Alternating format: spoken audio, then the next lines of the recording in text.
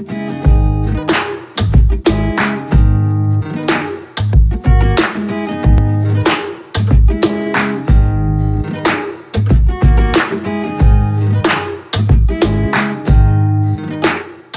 everyone, welcome back to Odigos Hub.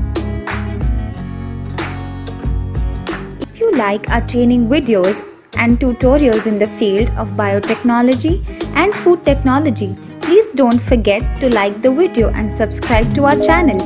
Also, hit the bell icon to never miss any updates.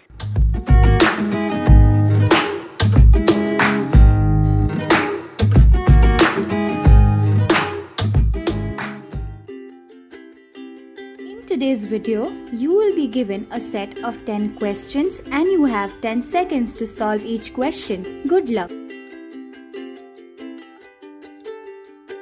Junctional diversity of antibody molecules results from Option A. The addition of switch region nucleotides. Option B. The addition of P and N nucleotides. Option C. The joining of V, D and J segments. And option D. Mutations in complementary determining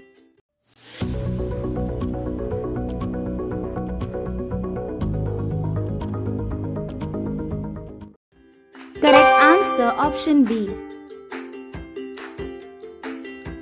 Which one of the following is not used for the measurement of cell viability in animal cell culture? Option A. Trypan blue dye exclusion. Option B. Tetrazolium assay. Option C. LDH activity in the culture medium. And option D. Coulter counter.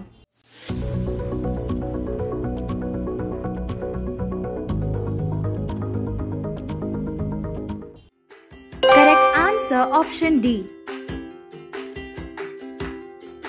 Which one of the following techniques relies on the spin angular momentum of a photon? Option A. CD spectroscopy. Option B. Fluorescence spectroscopy. Option C. IR spectroscopy. And option D. Raman spectroscopy.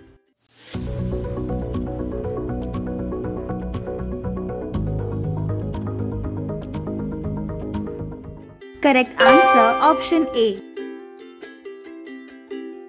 Read the given statements and identify which one of the following statements is not true.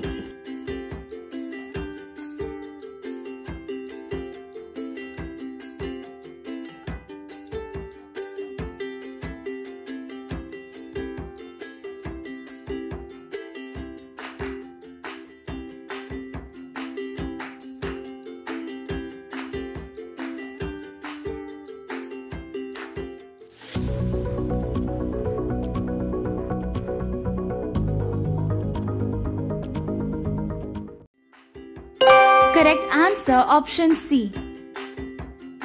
Based on their functions, identify the odd man out.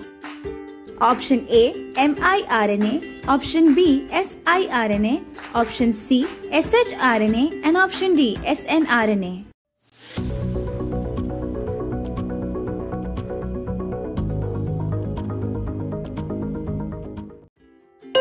Correct answer option D. Prandtl number is the ratio of option A thermal diffusivity to momentum diffusivity, option B mass diffusivity to momentum diffusivity, option C momentum diffusivity to thermal diffusivity and option D thermal diffusivity to mass diffusivity.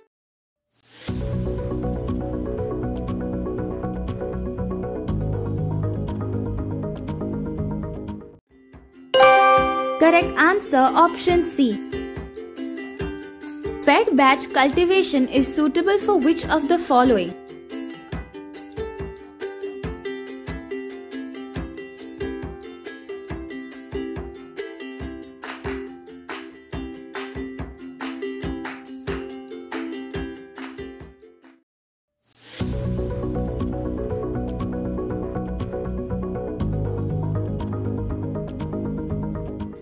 Correct answer option B.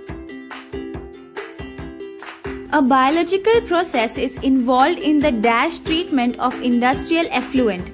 Option A primary, option B secondary, option C tertiary and option D quaternary.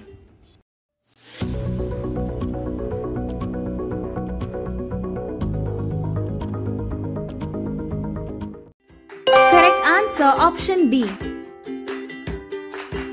In dead end filtration, the rate of filtration is option A directly proportional to the square root of the pressure drop across the filter medium, option B inversely proportional to the pressure drop across the filter medium, option C inversely proportional to the viscosity of the solution, and option D inversely proportional to the square of the viscosity of the solution.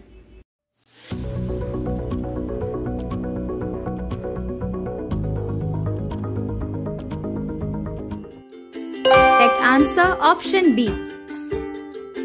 Read the following given problem and find out the correct answer.